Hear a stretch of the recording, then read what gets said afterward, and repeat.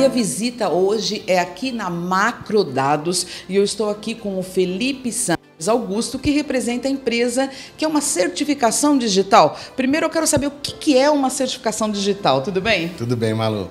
Bom, Malu, certificação digital, é, para resumir, é o seguinte: a certificação digital ela tem a mesma validade jurídica do, do que uma assinatura tua no papel.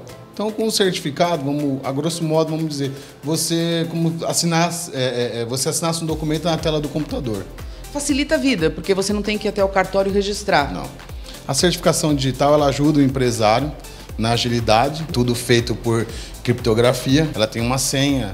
É, é, para a emissão do certificado digital é feita uma coleta biométrica, uhum. tirada uma foto do empresário. Então isso diminui o risco, é, aumentando a segurança para o empresário todo empresário precisa de uma certificação. A pessoa física também pode ter, né? Sim.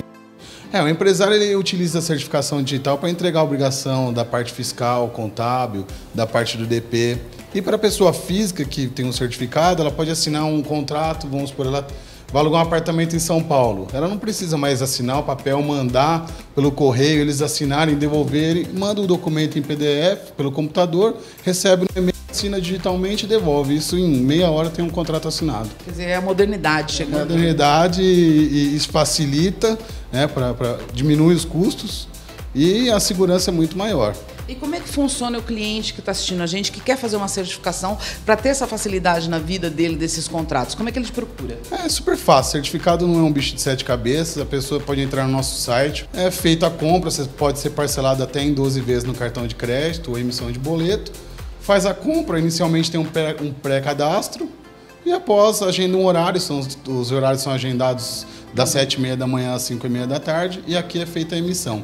Comparecer com os documentos, que na hora que ele fizer vai é, ter a relação dos documentos e ele comparece e a gente faz a emissão do certificado dele que ele já sai daqui funcionando. Oh, uma pergunta de quem não sabe nada mesmo. Ele vale para sempre, uma vez que eu fiz ou não? Não, o certificado tem é, dois tipos de certificado uhum. e três é, validades. Tem o certificado tipo de arquivo, que é chamado certificado A1, e tem o certificado chamado A3, que é um cartão parecido, semelhante a um cartão de crédito. Ele tem a validade de 12, 24 ou 36 meses.